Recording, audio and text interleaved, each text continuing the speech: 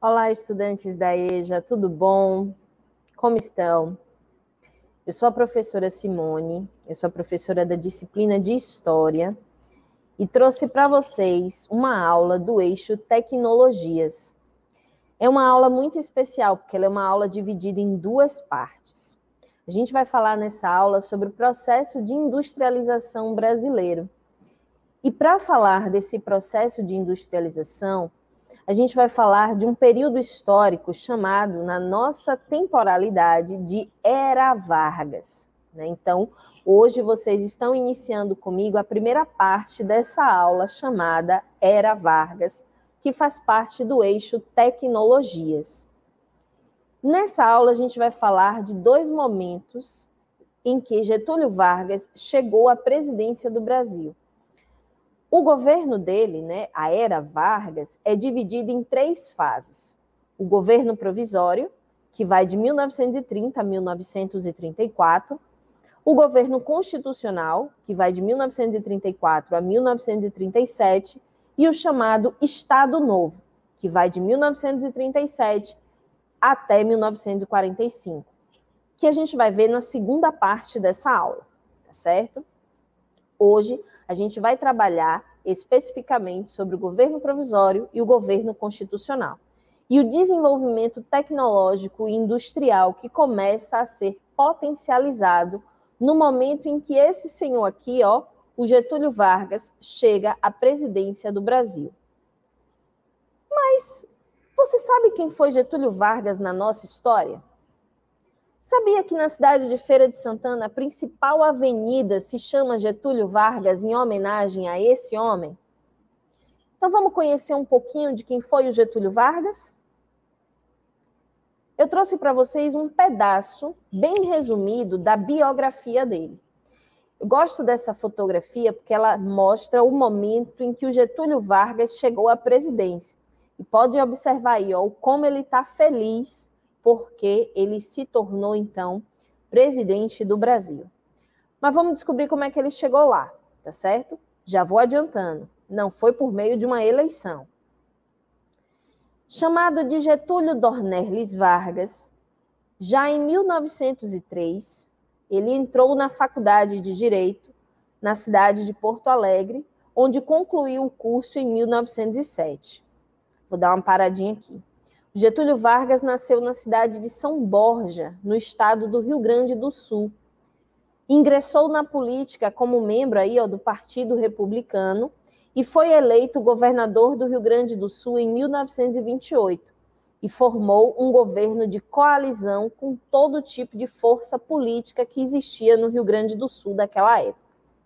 O Getúlio Vargas também passou um tempo no Exército, nas Forças Armadas mas saiu das forças militares para ingressar na vida política e desenvolver essa trajetória que a gente vai aprender na aula.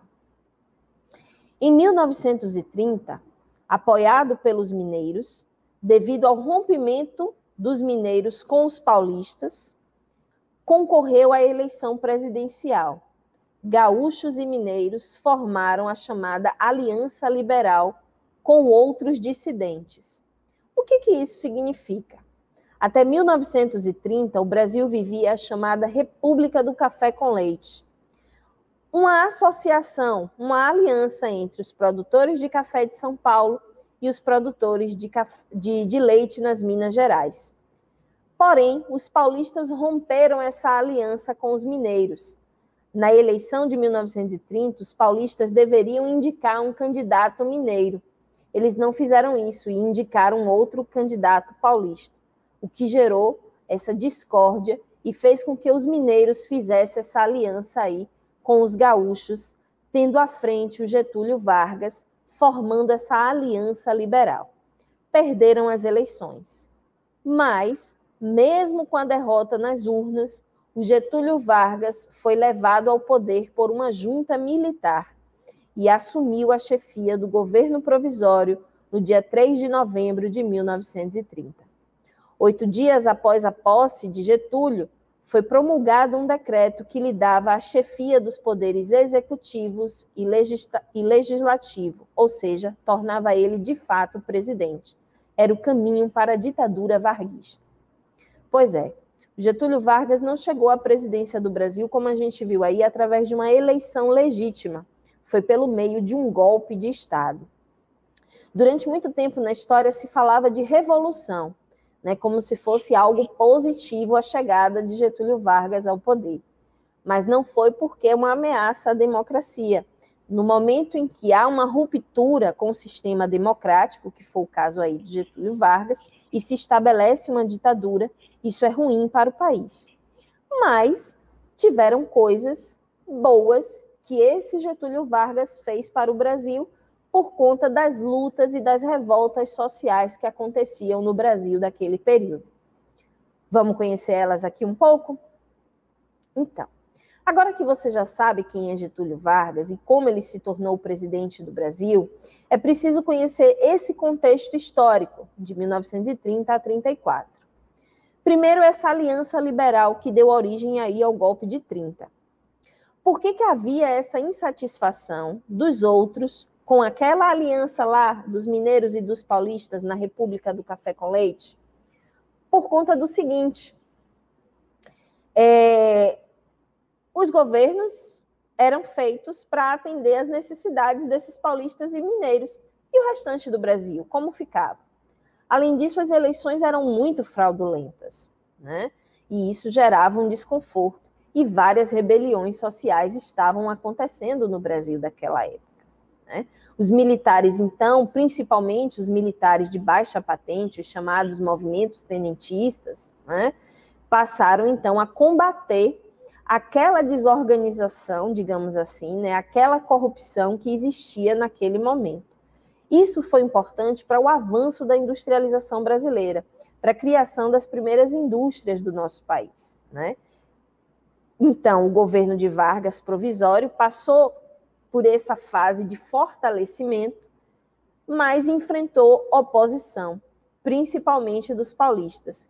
E aí os paulistas se organizaram através de uma revolta constitucionalista, exigindo o cumprimento da Constituição brasileira e a convocação de novas eleições. Getúlio Vargas não convocou novas eleições, mas atendeu ao pedido dos paulistas, convocando uma Assembleia Constituinte, ou seja, convocando senadores e deputados para escrever uma nova Constituição para o Brasil. Só que internacionalmente, eu destaco para vocês uma das maiores crises econômicas mundiais, que foi a crise de 1929, e que ela afetou diretamente a produção do café brasileiro. E o café era o principal produto econômico da nossa nação naquela época. E com isso vai modificar as relações econômicas do país, permitindo ó, o avanço da indústria brasileira. Eu trouxe para vocês um vídeo que mostra os efeitos dessa crise de 1929 aqui no Brasil, principalmente em 1930, com a chegada do Getúlio Vargas ao poder. Essa crise de 1929, ela também é chamada na história de a Grande Depressão. Ela é conhecida por esse nome de crise ou craque da bolsa, né? ou Quinta-feira Negra também, é um outro nome que essa crise de 1929 ela é chamada, porque ela foi a maior crise financeira da história dos Estados Unidos. Ela teve início no ano de 1929, por isso crise de 1929, e persistiu ao longo de toda a década de 1930. Essa crise econômica terminou, de fato, com o fim da Segunda Guerra Mundial. É, a Grande Depressão é considerado o pior e o mais longo período de recessão econômica do sistema capitalista no século XX. Esse período de depressão econômica causou altas taxas de desemprego, quedas drásticas do produto interno bruto de diversos países, bem como quedas drásticas da produção industrial, preços de ações e em praticamente todo o medidor das atividades econômicas em diversos países. Essa grande depressão também é chamada de crise da superprodução ou seja, os Estados Unidos produziram tanto que não tinha quem comprasse, não tinha quem vender. E essa crise da superprodução levou a essa queda dos preços e a falência de muitos empresários na noite da quinta-feira, né? Por isso essa referência, né? Quinta-feira Negra. Então, essa crise afetou o Brasil diretamente porque os Estados Unidos eram compradores do nosso café. E o Brasil era um país essencialmente agrário. Com essa crise econômica, foi, digamos assim, o incentivo que faltava para o Brasil industrializar. Vamos ver o vídeo e como essa crise afetou esse desenvolvimento econômico nosso? Olá, caros alunos. Aqui é o professor Andrew. Sejam bem-vindos a mais uma aula de história. Na aula de hoje, vamos aprender sobre a crise de 1929 no Brasil. Os efeitos da crise foram imediatamente percebidos no Brasil. O café, principal produto do país, era responsável por 70% do volume total das exportações. No final da década de 20, o Brasil atingiu níveis alarmantes da superprodução nas lavouras cafeeiras. Os estoques imensos foram acumulados devido ao excesso de otimismo e euforia dos produtores no período anterior à crise. Resultado, em 1929, somente 50% da produção foi vendida ao exterior, gerando queda acentuada dos preços e grandes prejuízos. Os Estados Unidos interromperam a compra do produto. Em pouco tempo, os demais países afetados pela crise também desistiram das importações. Com consequência, milhares de toneladas de café ficaram disponíveis no mercado sem compradores, fato que levou à queda vertiginosa de seu preço. Getúlio Vargas, recém-chegado ao poder graças à Revolução de 1930, tomou medidas para controlar a crise econômica. Criou o Conselho Nacional do Café e comprou café que não encontrava compradores, queimou milhares de sacas do produto para diminuir o estoque. A crise de 29 também afetou a industrialização no Brasil. A crise de exportação do café levou o país a ficar sem recursos para importação de produtos industrializados. Tal fato abriu espaço para a produção nacional, principalmente a têxtil. Devido à crise nas exportações do café, houve um processo de migração do campo para as cidades, ampliando a oferta de mão de obra nas indústrias. Além disso, o governo Vargas elaborou um plano para o desenvolvimento industrial no Brasil. As indústrias já estabelecidas durante a década de 1920 puderam expandir a produção durante a crise da Bolsa de Valores por causa das dificuldades de importação que o país passava. Então, pessoal, como vocês viram, né, a crise de 1929 afetou diretamente as relações de produção aqui no Brasil, fazendo com que mudasse por completo a configuração econômica do nosso país. Lembra lá da Constituição de 1934? Perdão, da Assembleia Constituinte que eu falei para vocês, né? Que foi uma reivindicação dos paulistas?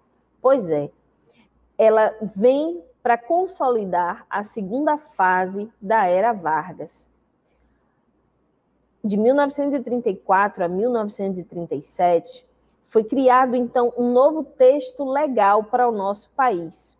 E algumas emergências, algumas necessidades daquele contexto histórico que fui explicando para vocês até o vídeo sobre os impactos da crise de 1929 na nossa história, são os seguintes.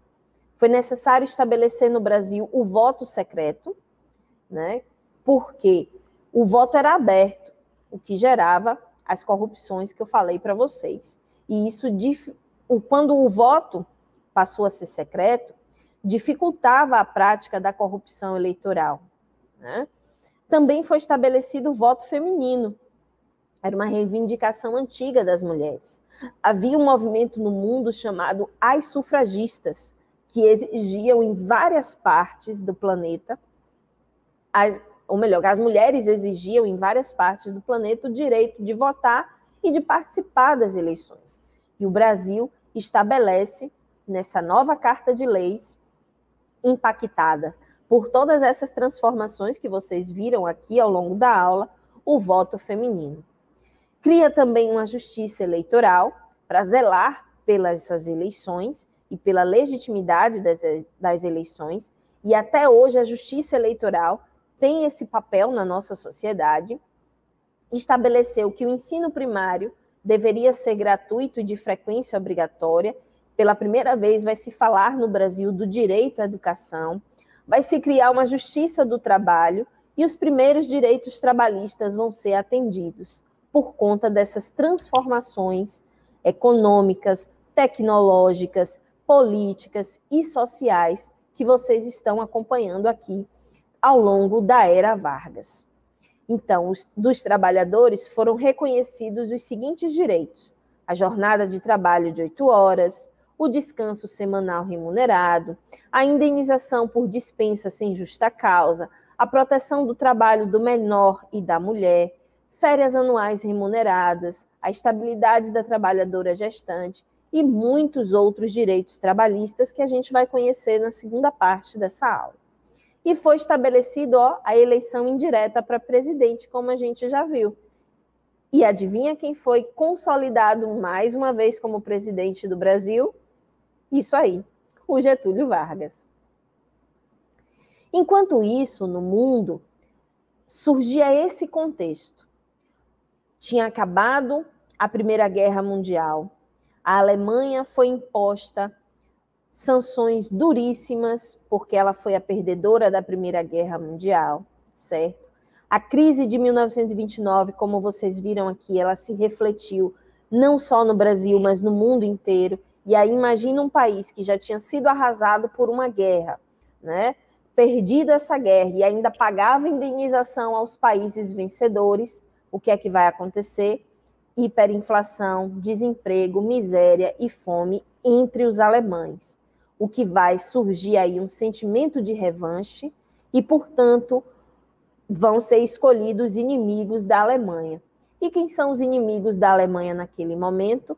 Os comunistas e os países vencedores da guerra, da Primeira Guerra Mundial. Isso vai favorecer a ascensão de regimes e de ideias totalitárias.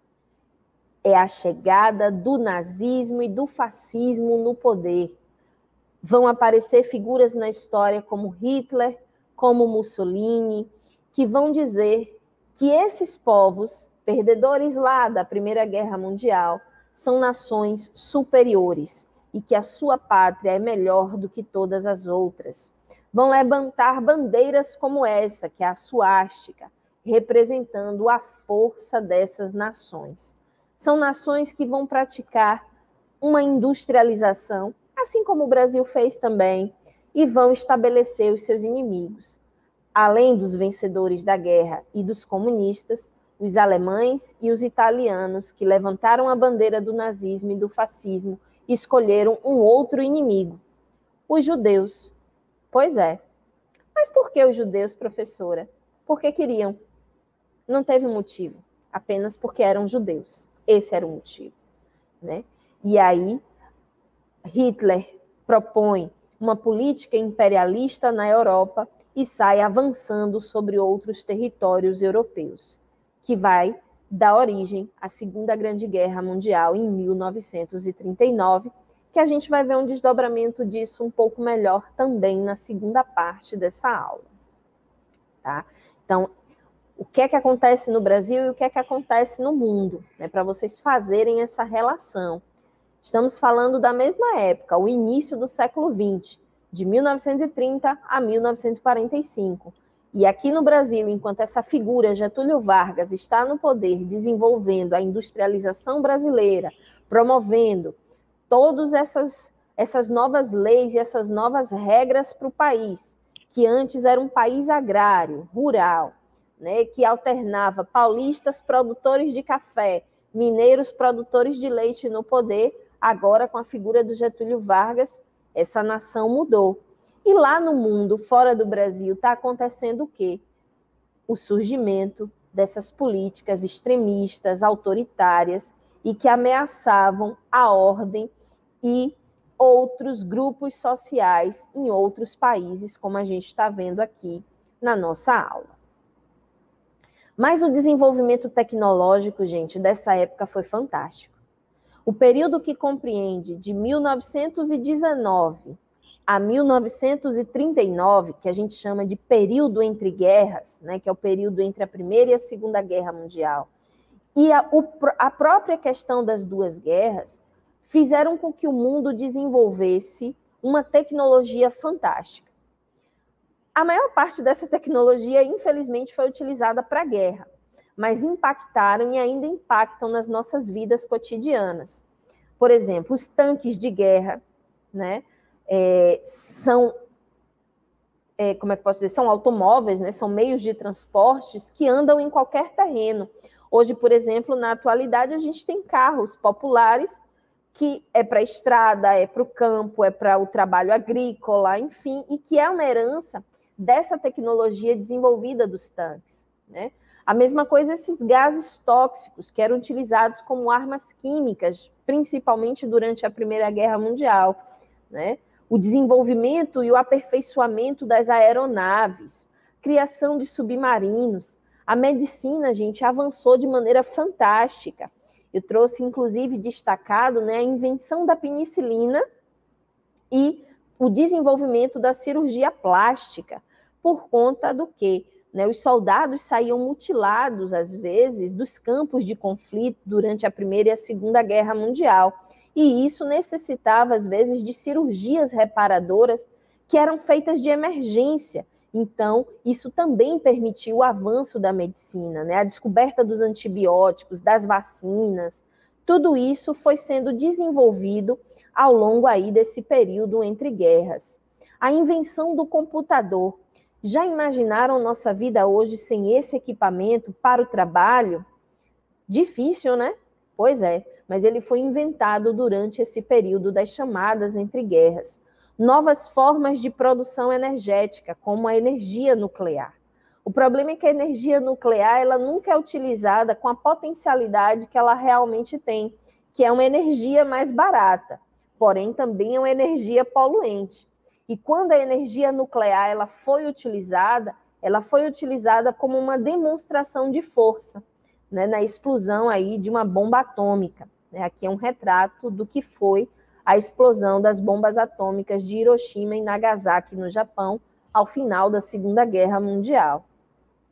Foi inventado o raio-x portátil, absorventes higiênicos, lâmpadas ultravioletas, o rádio sem fio, sistemas de navegação, gente, o famoso GPS.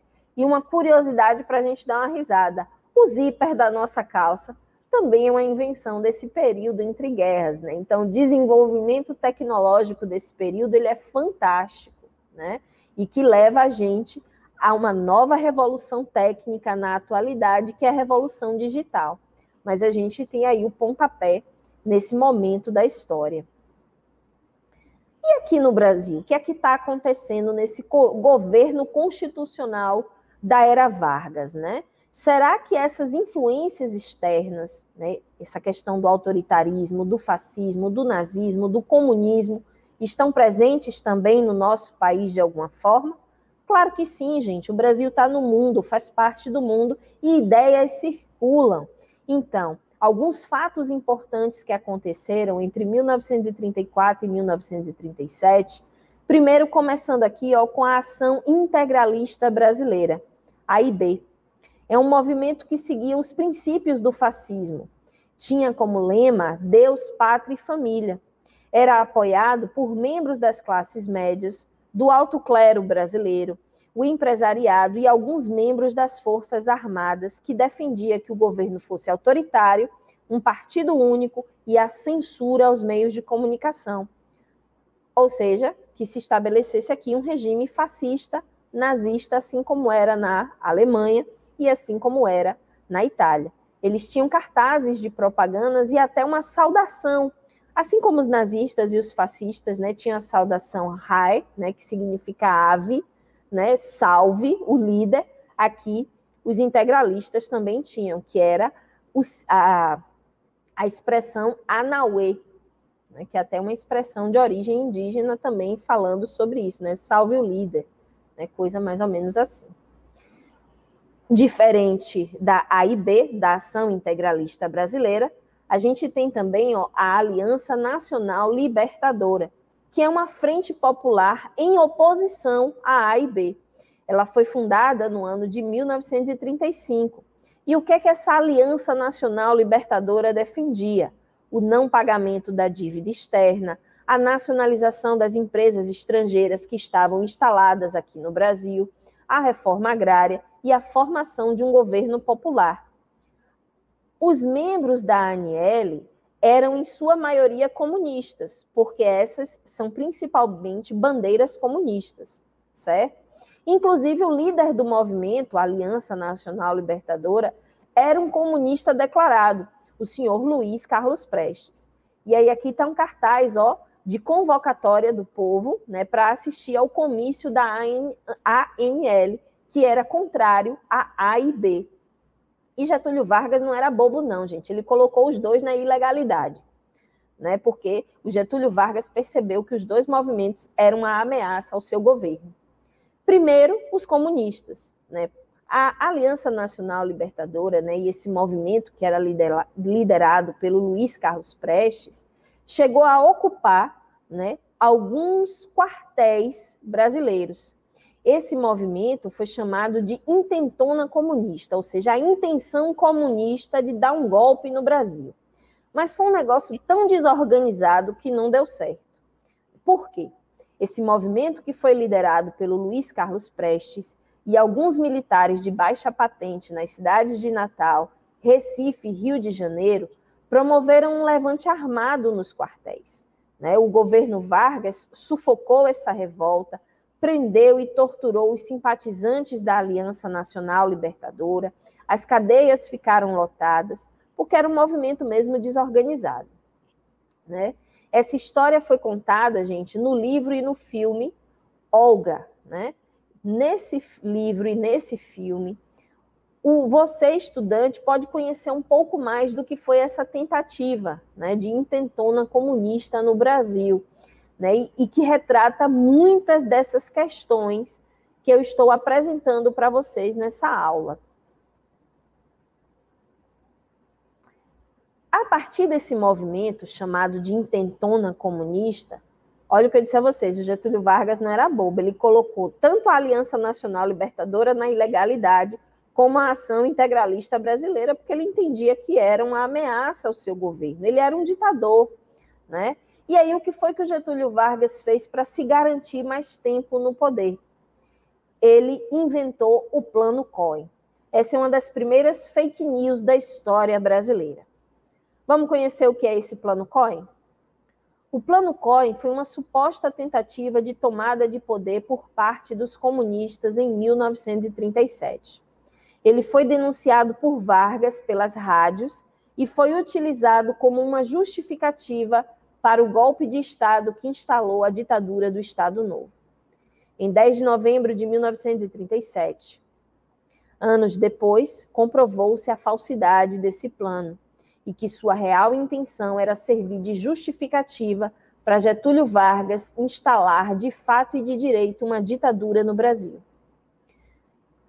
Eu trouxe até para vocês aqui uma capa do jornal Correio da Manhã, de outubro de 1 de outubro de 1937, aonde o presidente, então Getúlio Vargas, vai denunciar nos jornais essa tentativa de os comunistas do Brasil darem um golpe, né? E por que que anos mais tarde se comprovou a falsidade desse plano, professora? Os documentos históricos, né? E aí o papel do historiador, da historiadora, de fazer a análise o cruzamento dessas informações e comprovar que não havia, na verdade, nunca houve na história do país tentativas do comunismo ocupar as forças políticas nacionais. Há sim uma necessidade dos trabalhadores, das chamadas minorias sociais, de que o Brasil faça reformas sociais para que se reduza as desigualdades no país mas intenção de dar golpe comunista é fake news. E aí, para vocês conhecerem um pouco mais sobre essa primeira parte, né, do que foi a era Vargas, é interessante que você converse com seu professor, com sua professora, sobre a importância da aprovação das leis trabalhistas que foram criadas né, durante esse período da nossa história. Ou, se você preferir, que tal um debate sobre os benefícios e os malefícios dos avanços tecnológicos que ocorreram nesse período? Um forte abraço para vocês, bons estudos. Eu espero que vocês tenham gostado dessa aula e a gente se vê agora na segunda parte sobre a Era Vargas. Até a próxima.